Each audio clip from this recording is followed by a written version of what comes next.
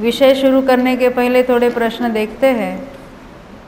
एक प्रश्न है कि औपशमिक सम्यक्त्व के बाद दर्शन मुनि के जो तीन भाग है, उसके जो तीन प्रकृतियाँ हैं, क्या उसके अस्तित्व में भी फिर जीव से औपशमिक सम्यक तो प्राप्त कर सकता है या सिर्फ़ वेदक सम्यक? इसकी तो हमने बात की थी कि जब से उस मिथ्यात्व में आया है, तीन टुकड़े हैं तो असंख्यात वर्षों तक उसकी उद्वेलना चलती रहती है। तो असंख्यात वर्षों तक तो उसके अगर सम्यक तो होगा तो वेदक सम्यक तो ही होगा।